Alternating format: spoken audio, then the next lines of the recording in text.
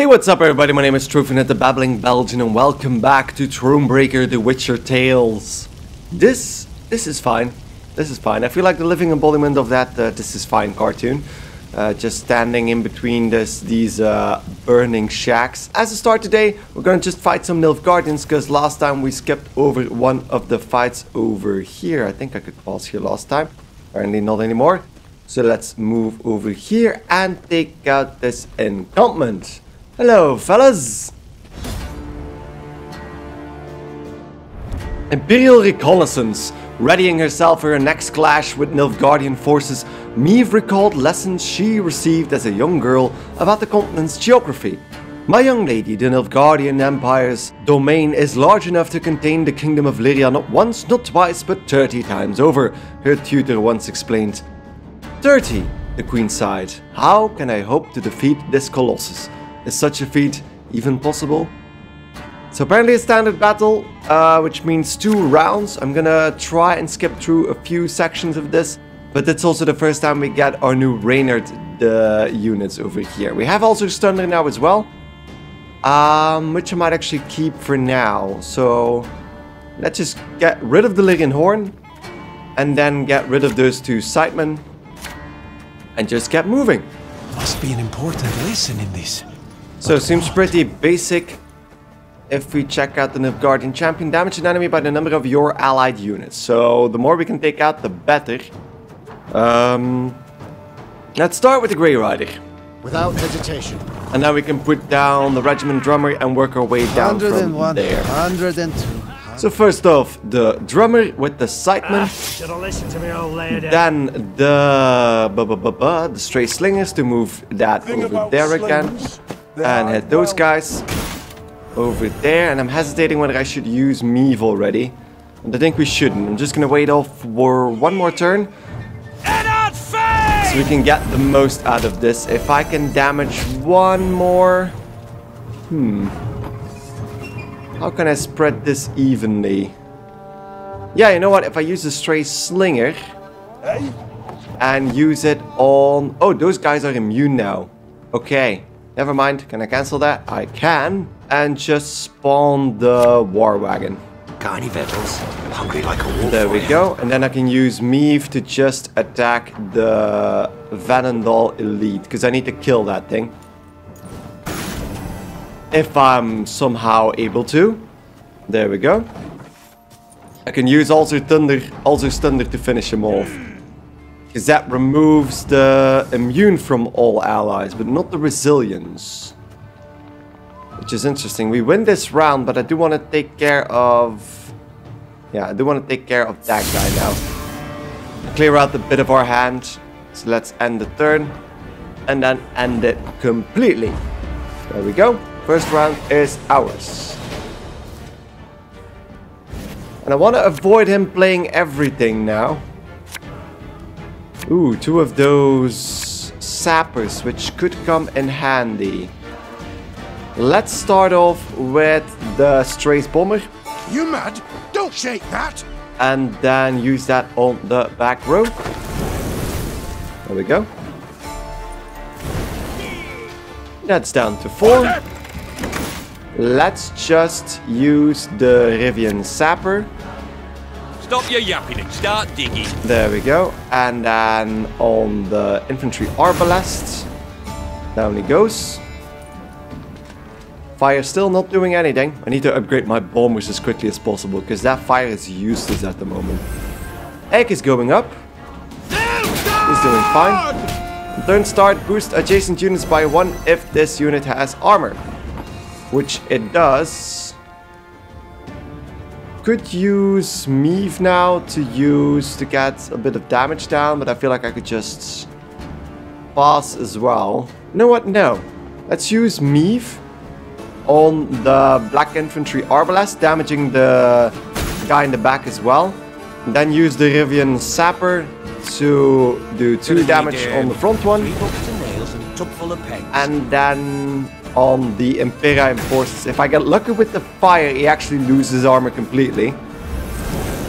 Oh no, we just got armor, well, damage on the first unit. Okay, yeah, I need to stop. Yeah, I definitely need to stop. Yeah, I'm gonna stop. Here we go. Boss. And leave the rests for the final turn. He's gonna pass as well, I presume. Yeah, there we go. There's always a bit of a delay on the turn of uh, your opponent in Thronebreak. I don't know why, because it's AI, so he should be able to do that all by himself. Okay, so we have two Hushdukes, and that's it. Crap. So I can give a lot of charges, but I don't have anything to give the charges to. So I could start using the Forager, but I don't have a lot of units to actually use that on. We can get the Lyrian Hashduk on the... Wait, does this gives a charge to the card on the right? Yeah, does that work? Yeah, it does. It does. So that's that. Yes. That is actually pretty good. So that, those are all six now. So if I lose, use this Lyrian Scytheman, This artist will be I can use Meve to damage everything over there. And boost the Scytheman. And then use the Forager the first time to get him to 31. Then I could just reduce the amount of targets he. Highly Heal an ally and boost boosted by the amount healed. Fair enough. And we get damaged again. Then Xavier, which, yeah, I can't do anything else than this. Might as well just consume him immediately then. There we go. Could have put the Forager on the bottom row as well. Then Egg over here. God's blast it. And then the turn. I'm not gonna be able to do this, but... Groto dum anime. And I don't get damaged again either. So Egg is gonna get gobbled up. Up to 67, and then the Lyrium below is another boost of 67. But I don't think I'm gonna make this. There we go. Although it does look like we might be able to make this, he's gonna be able to do damage one more time, but still, it's only My prescription. A bit of blood let 10, 11 damage. Yeah, okay, there we go. We did, we did still win with a very bad hand. Just a lot of those, uh, yeah, those guys, uh, the the Giso footmen.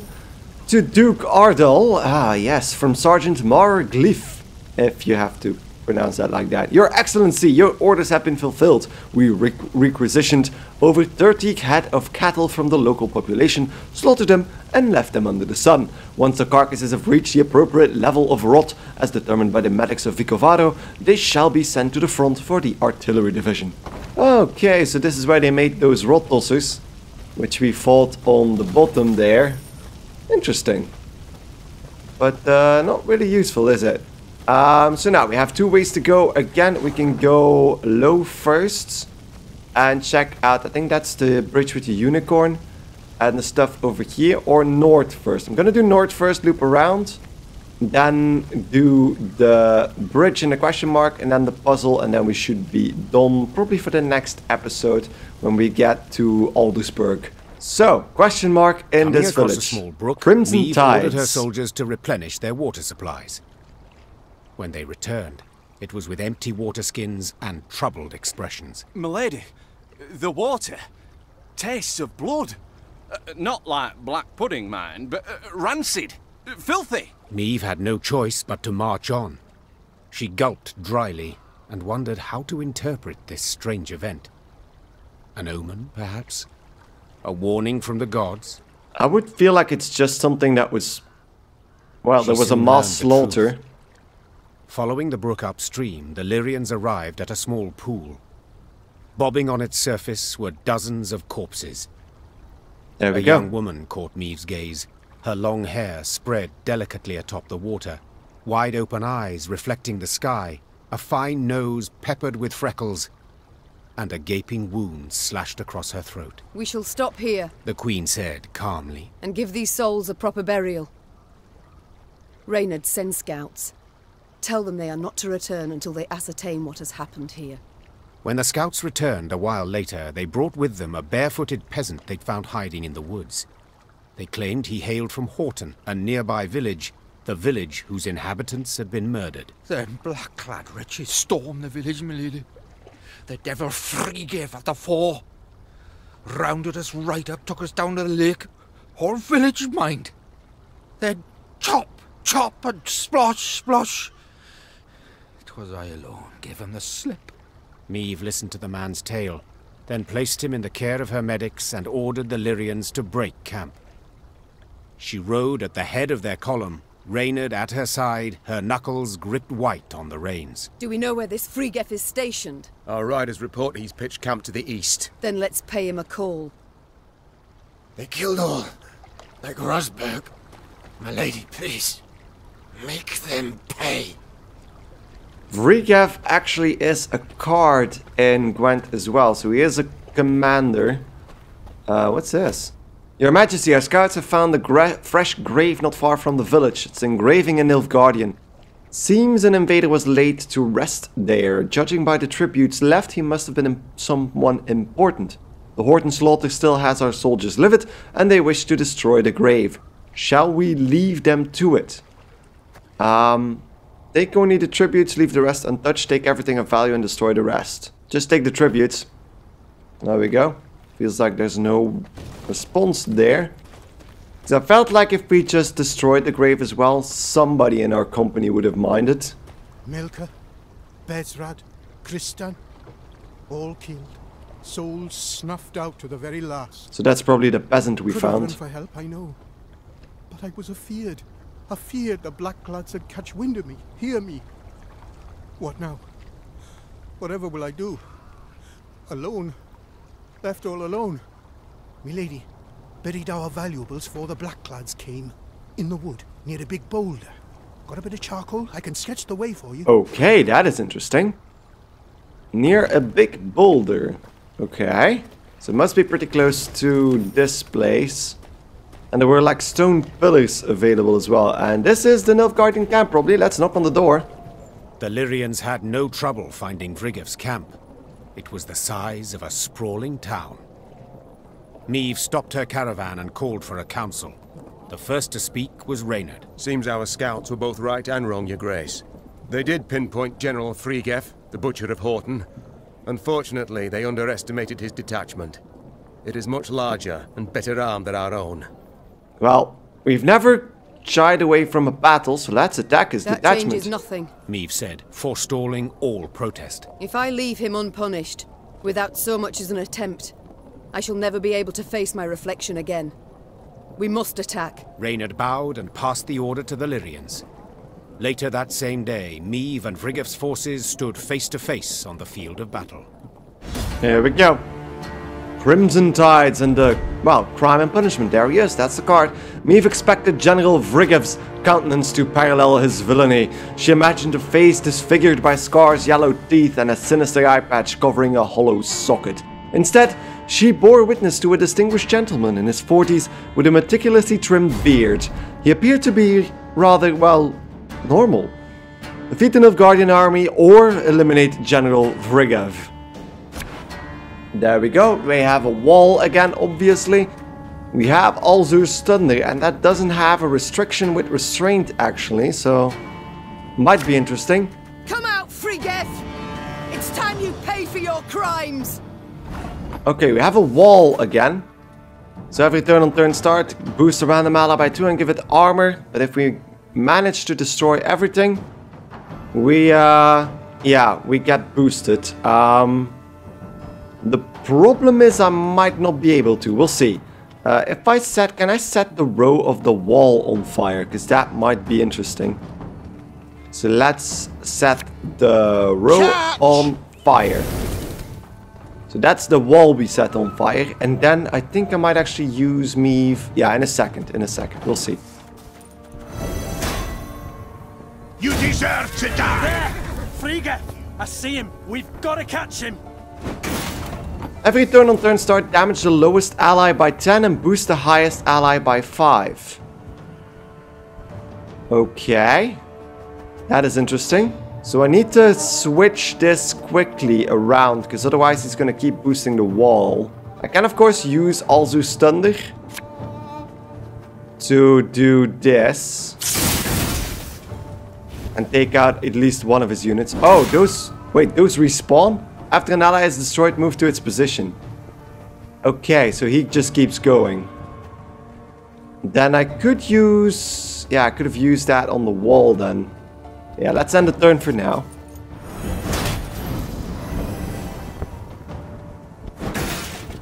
Okay, so it doesn't seem like he's taking the wall into account, and the wall doesn't seem to be damaged by the fire either, which is annoying. Let's use the war wagon first, You can try to win them all, but you then won't. use Meve on the the arbalest. I think I'm gonna do that on the arbalest. There we go.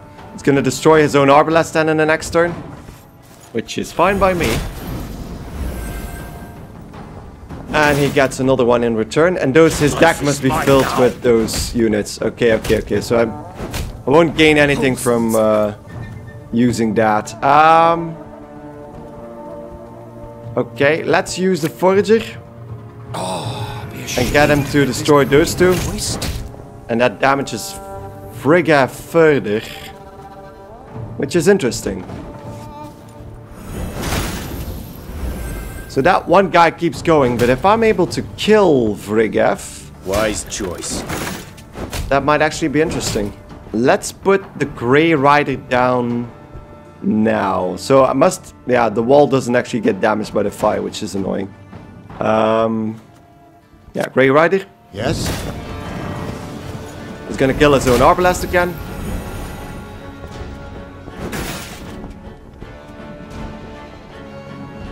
Then we'll use Black Rayla next. Cats there! Give all allies immune. Yeah, that's annoying. So Black Rayla, I'll fight to my last breath. get her boosted as well.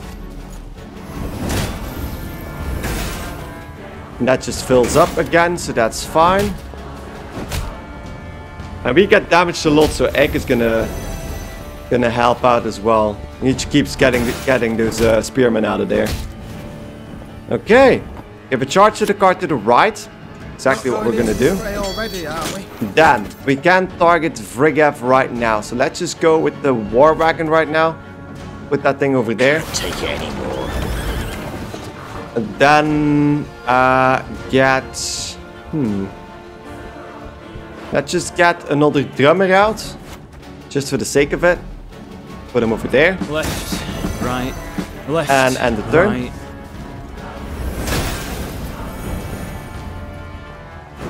He just keeps damaging his own stuff, and yeah, okay, damage again, heal again. It's all fine. Vrygheff is still killable. Oh, oh, oh. Take it easy, buddy. Take it easy. So, now, let's put Xavier on the field. Fear not. There we We go. We use the drummer to get another Scytheman out. Ah, should have listened to There we old go. lady. We use Xavier to boost to get Rayla two charges. Then uh, we use Rayla to get uh, Forager out. Yup, over here. I only loot corpses. Then we use Except Rayla to get Reynard Quite out fresh. and get ourselves boosted a lot, and all the charges are Majesty refilled. is Exceptional. Then we use the Forager and destroy those two dudes. And we get damage on the field with that. Then the drummer to get another Scytheman out. This harvest will be reaping black clouds. Then Xavier give Black Rayla his charge. Then Black Rayla with another... I think we have another Harshduk, right? Yeah, we got another Harshduk on the field. On the right there. There we go. That should a full week. Then we use Xavier to give that charge to Rayla. Then Rayla. Rayla, Rayla, Rayla. Dear old good Rayla. Let's get Egg down. Egg over here. A knight should Free. Rider moves. Our codex commands it. Black Rayla to get... Hmm. Could have used Isabel as well, but I don't, I'm still not sure how she actually works. Uh, and then we can use the Field Medic maybe. Could be interesting as well. So let's play the Field Medic. You must sweat like a swine in that jacket. Oh, is that isn't? Oh, wait, what? What am I deploying? What am I deploying? Don't know what am I deploying. So let's put. If it's the, I think it's a forage. No, it's ah, it's one of those guys. Okay, okay, fair enough. But at least we'll, yeah, we'll see what happens next.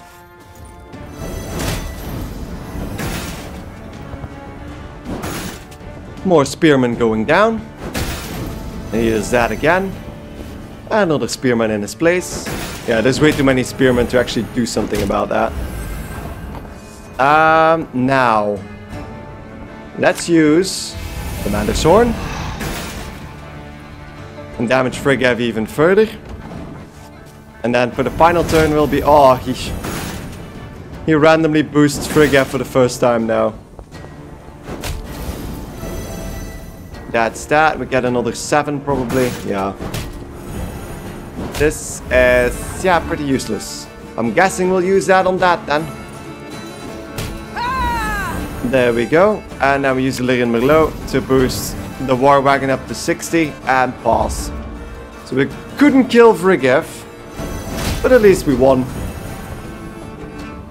There we go. And his final card is not going to do anything about that. Yeah, it's pretty much the same thing. Constantly the slave driver. And Egg just keeps going so we don't lose any points by the damage. And we got a victory there. No dead Vrygheff though. The Really bad at those side day, objectives. Despite their foe's distinct advantage.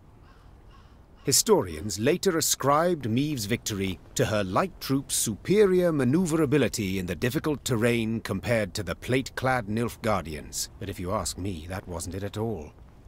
A storm of fury had been quietly gathering in the Lyrians' hearts, a squall of rage stoked by the Nilfgaardians' unparalleled cruelty towards the conquered.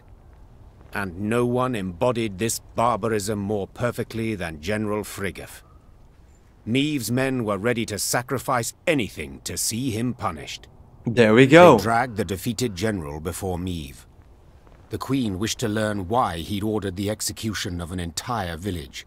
How the Nilfgaardians could possibly justify such a crime. Two weeks prior, I'd sent a detachment to Horton to procure feed. Captain Gaynor commanded it. While he was verifying their grain stores, they barricaded him in the barn and put it to flame. The Queen listened to the general's story, her face a mask, betraying nothing. Murdered. One man was murdered. And you decided to respond like Vrygheff that. raised his eyes to Meve's. The Queen was surprised to see them wet with tears. Yes, my lady.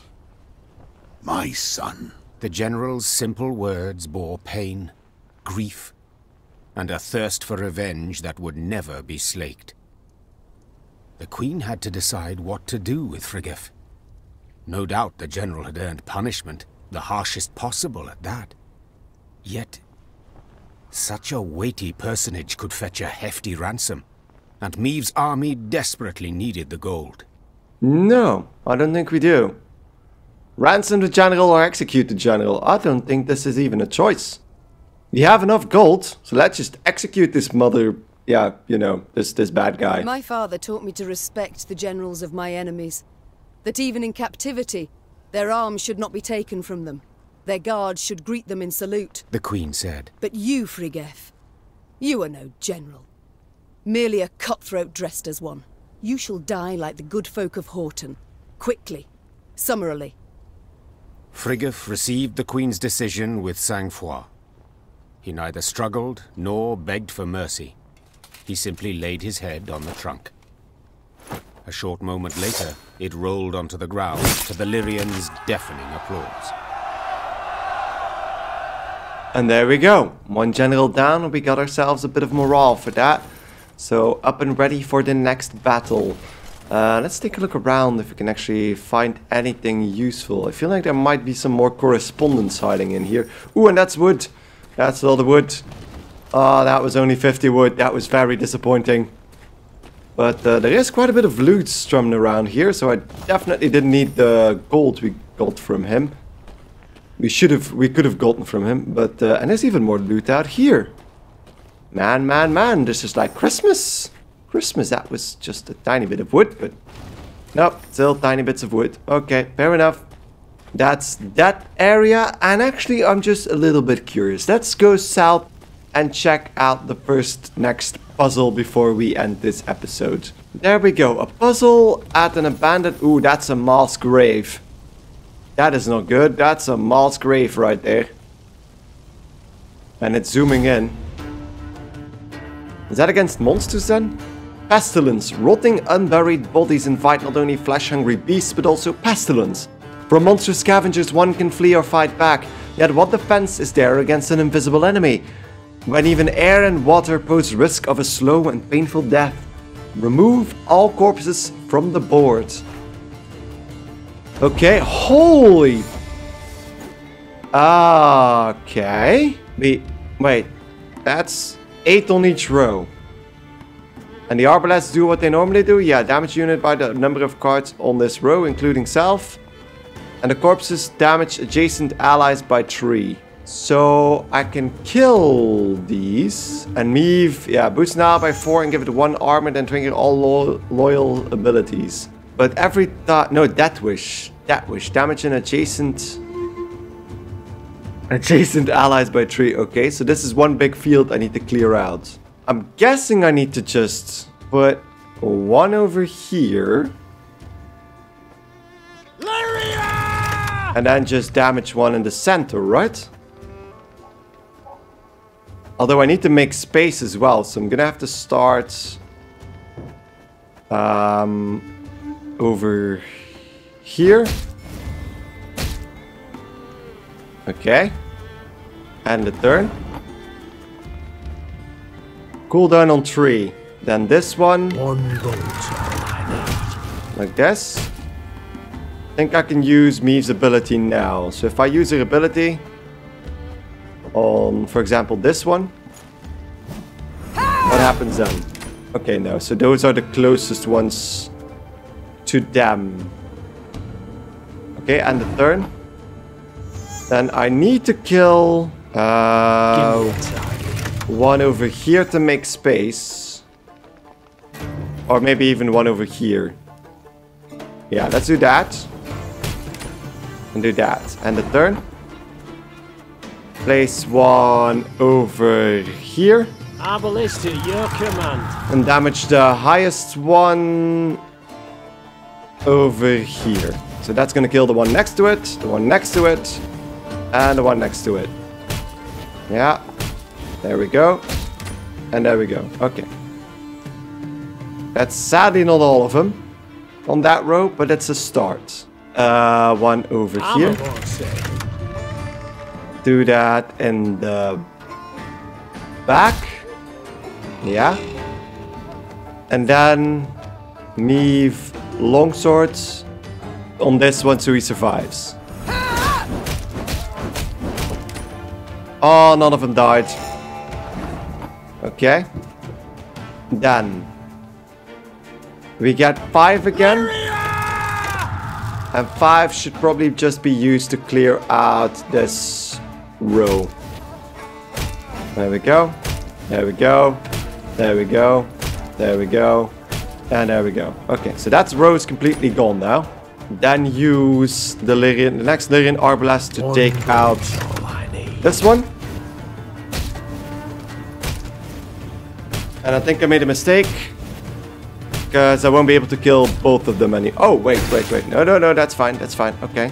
And then use the Lyrian Arbalest over here, which has three now, on this one. And that just does that. And then we can use Meve to whatever do this. And then I need to be lucky, I think. This is that enough? I don't think it's enough. Oh, it is it is enough. It is enough. Oh yeah, there we go. I had no idea how that was going to end, but that was lucky. I would call that lucky. Tried to be smart about it, but I think that was mostly luck. The skull. We get a skull. That doesn't sound that handy, actually. Just gonna quickly check out what that skull is and check out the tent. My queen, the Aedirnians, retreated with haste, abandoning their tents, supplies, and even some of their equipment. We found something in the commander's quarters. I have no doubt you'll know what to do with it, my lady. Have the old soldiers draw lots to determine who shall open the chest. Have Isabel cleanse the chest of spells and curses before opening it. It's always the better choice. To just have the characters do it. So, uh, there we go. Artifact compression also complete. So we have now two extra trinkets in our possession. So let's take a look at that. The artifact compression transform an enemy into a jade figurine and move it to your hand. What does that mean? You can move the figurine to your hand. I mean, Nickers could eat it then, technically, but if it's still an artifact after that, interesting. I don't know what... There's no explanation as to what the... The Jade figurine is then. Okay, let's just check out the skull then. Banish any number of units from your graveyard and damage all units on a row by the amount uh, banished. Could be interesting. Could be interesting. That's only useful for longer battles where we lose lots of units. Uh, or when we have upgraded the war wagon to spawn 3 light infantry units. But other than that, I feel like, yeah, he's not useful for now. So let's keep the deck as it is and yeah, that's it. And with that, I'm gonna take a little break. Next up, we'll probably reach Aldersberg for real this time. And uh, yeah, let's see if we can find King Demawend in his city. If the city is still standing, that is. So thank you guys enormously for watching. If you enjoyed this episode, don't forget to like it right here on YouTube. And uh, well, hope to see you guys next time on the next episode of Thronebreaker The Witcher Tales. Goodbye.